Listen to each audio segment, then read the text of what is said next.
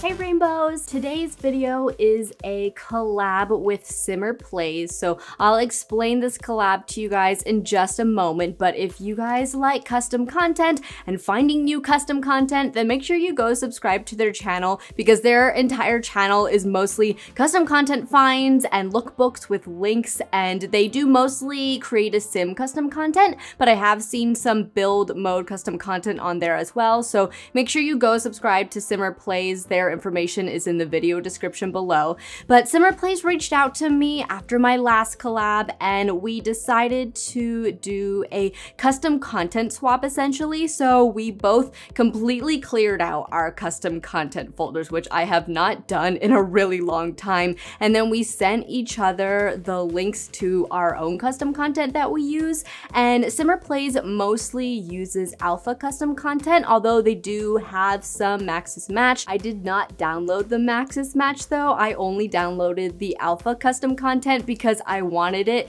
to be just completely new and different custom content. I think the only thing in here that I have used or that I do use is some of the eyelashes, but not even all the eyelashes. I don't think I even chose eyelashes that I normally use. But basically, I decided to pick four of our characters from our Royal Family series. Very popular characters. As you can see here, we have our king, King Henry IV, of Windenburg. And then we're also going to be giving makeovers to Princess Anya of Glimmerbrook, Prince Jabari of Selva Dorada, and Princess Bellatrix of Windenburg. This is actually a younger, or it was a younger version of King Henry. That was when he was a young adult. But now we are in Princess Anya. I do want to go back and talk about uh, King Henry really quickly though. So with him, because as you guys can see, all of the custom content is a lot more casual. So I was trying to figure out looks that would go with him. However, you guys will see screenshots at the end. The two looks I choose for him are completely different looks.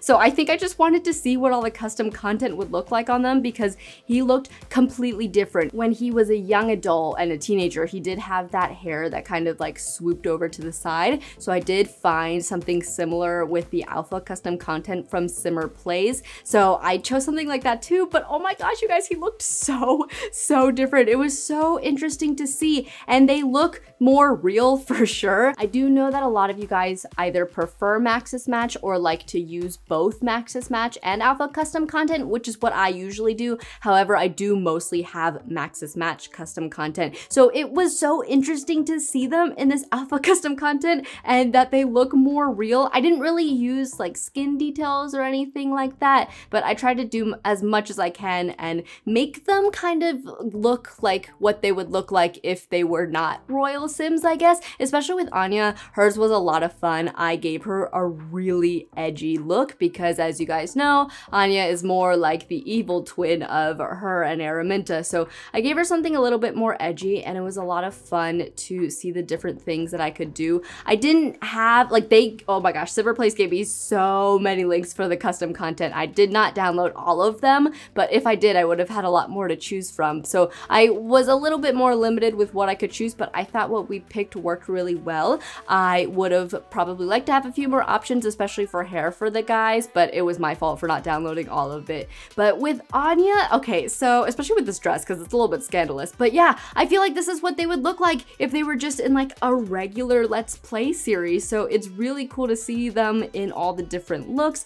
With Anya's hair that she has in our Royal Family series, it's almost like a little bit of a mix between Maxis Match and Alpha Custom content, but the alpha, like straight alpha just looks so, so different. It's also interesting because in the past, when I've done collabs, I have had other simmers or the person I was doing the collab with, they were the ones to give our characters makeovers. So now I'm the one giving them a makeover, but with someone else's custom content. So that was a lot of fun. Now we are on Prince Jabari and you guys will see I struggled finding a hairstyle for him a lot because the one that I thought fit best, I didn't like as much just on him specifically. I should have chose more options and you guys will see I kind of go back and forth. I almost went with like a shaved look for him, which is actually just a broken custom content, but it looked just like a shaved head, but I ended up changing that a little bit later. I will probably keep some of the custom content that I have from this video. However, I don't think I'm going to be keeping any of the alpha custom content hair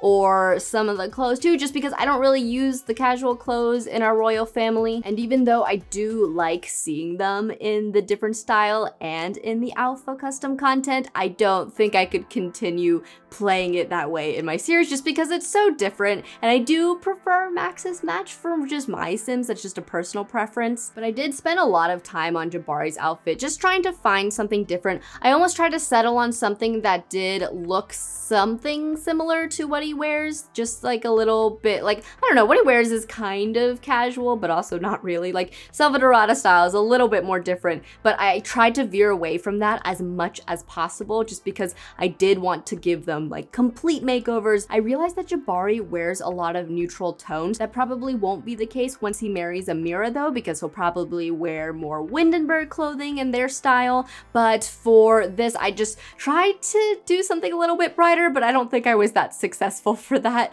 But now we're doing Princess Bellatrix or Princess Bella.